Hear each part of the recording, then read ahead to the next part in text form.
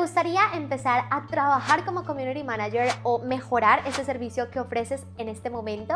Pues bueno, en este video te voy a compartir una guía para community managers que además estará acompañada de unas excelentes formaciones gratuitas que puedes tomar. Hola, hola, ¿cómo estás? Te doy la bienvenida a un nuevo video dominguero. Si no me conoces, mucho gusto, yo soy Tati Uribe y aquí tenemos un videito nuevo los jueves y los domingos. Como pudiste ver en el título del video, voy a hacer una especie de guía de lo que debes tener en cuenta cuando eres community manager, pero lo mejor de todo es que como este tema es tan robusto, en cada punto que te voy a ir explicando, lo acompañaré de un curso gratuito que puedes tomar. Así que te voy a dar esas pautas claves para trabajar como community manager y además cursos para que puedas complementar toda esta información que te estoy compartiendo. Pero antes recuerda que puedes suscribirte haciendo clic en la partecita de abajo donde dice suscribirse y activar la campanita de las notificaciones para que te llegue un correo cada vez que yo suba un nuevo video. Y sin más rodeos vamos a empezar con el video.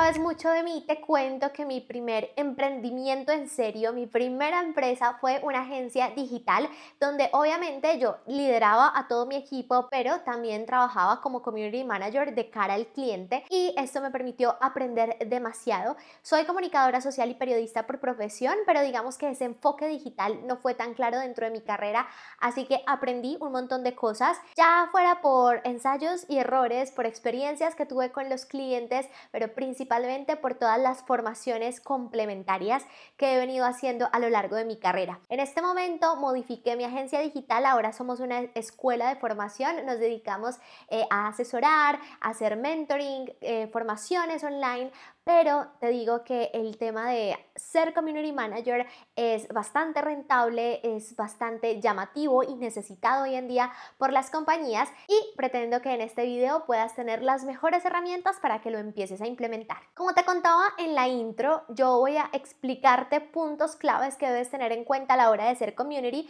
pero además te voy a recomendar cuáles son esos cursos gratuitos que yo haría si necesitara como completar algunos conocimientos para ser community manager. Entonces vamos a empezar con lo primero y será el tema de diseño. Normalmente si tú tienes una agencia digital manejas varios perfiles, tienes una persona con habilidades comunicativas que se encarga casi siempre de la parte de copy, tienes también un diseñador que se encarga obviamente de todas las piezas gráficas, pero si tú vas a trabajar freelance, por ejemplo, es muy importante que tú puedas ser integral en el desarrollo de esas funciones. Por eso, si tu enfoque principal no es el diseño, te quiero recomendar este curso. Se llama Crea y diseña productos digitales de Coursera Project Network. Es un curso gratuito. Recuerda que todos los cursos que te voy a decir en este video van a estar listados en la cajita de información y eh, te explico un poquito. Cuando yo recomiendo Coursera, recuerda que Coursera tiene formaciones que son gratuitas y que solamente te van a cobrar si tú requieres un certificado. Normalmente cuando somos freelance o si trabajamos independientes, tenemos nuestro propio emprendimiento, nadie nos pide como tal un certificado, así que tú podrías acceder a todo este conocimiento de forma gratuita y maravilloso. Y el segundo punto para mí es súper importante porque es todo el aspecto estratégico y te quiero compartir un poquito una aclaración que aprendí en una maestría de marketing digital y ventas digitales y allí en la maestría nos explicaban que una cosa era el community manager que era quien hacía las labores más operativas, redacción de copies, eh, diseño gráfico, comunicación con el cliente, con la audiencia, responder comentarios, responder mensajes directos y otro perfil era el de social media manager quien era mucho más estratégico. Yo aprendí eso en la maestría pero cuando salí al mundo real a vender mis servicios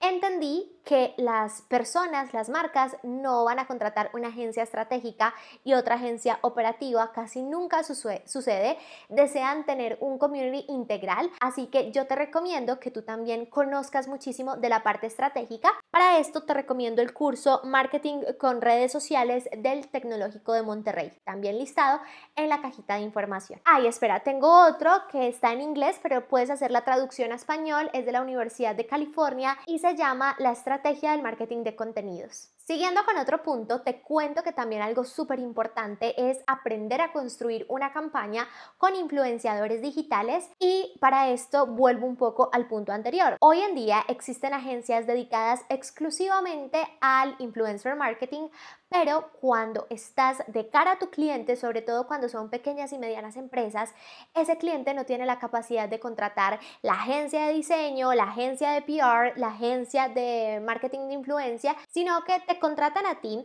para que lideres su parte digital y pues te están pidiendo un montón de requerimientos y qué rico que podamos ser integrales. Obviamente mi recomendación es que siempre vayas buscando una especialización, es decir, que tú seas muy fuerte en influencer marketing o que seas muy fuerte en elaboración de contenidos, no picar en todo, pero sobre todo si tu nicho son pequeñas y medianas empresas, sí necesitan que tú seas muy integral en el servicio que ofreces. Entonces, para este punto, te recomiendo estrategia del marketing de influencia. Esta es, a ver si no me quiebro aquí un diente, Rogers the State University of New Jersey. Esta es la universidad que ofrece este curso también gratuito, listado en la cajita de información. Y el último punto del que quiero hablar va súper enfocado en la creatividad, la viralidad de los contenidos, que también va muy ligado con la creatividad que existe en ellos y la redacción de ese contenido para que efectivamente pueda cautivar a una audiencia. Te cuento que casi todos los community managers que conocía o personas con este perfil que podía entrevistar tenían digamos que un conocimiento muy general sobre cada una de las plataformas sociales y era muy difícil que lograran tener ideas demasiado creativas, simplemente se iban por un tema muy muy básico. Por ejemplo, en algunos perfiles como diseñadores, sobre todo también los publicistas son bastante creativos, sí había como un concepto súper claro detrás de cada publicación, pero digamos, en mi área, comunicación, me quedaba un poquito corta yo y también otras personas que entrevistaba con este perfil. Entonces, como te digo, si tú en este momento vas a empezar a trabajar solito o solita, pues te recomiendo que hagas esta formación para todo ese desarrollo de la creatividad en la creación de contenidos.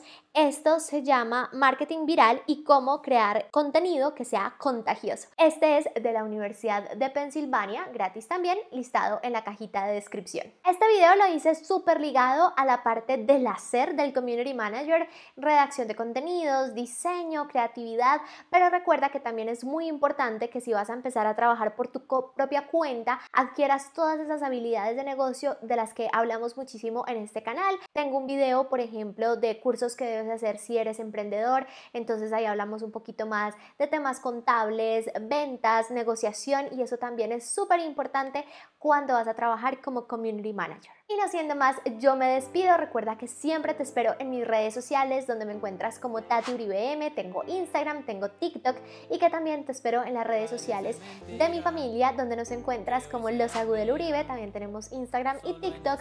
Me despido, pero recuerda que tú y yo nos vemos el próximo jueves. ¡Chao! Y cómo ignorarte si con tanto amor todas mis heridas, bebé, las sanaste.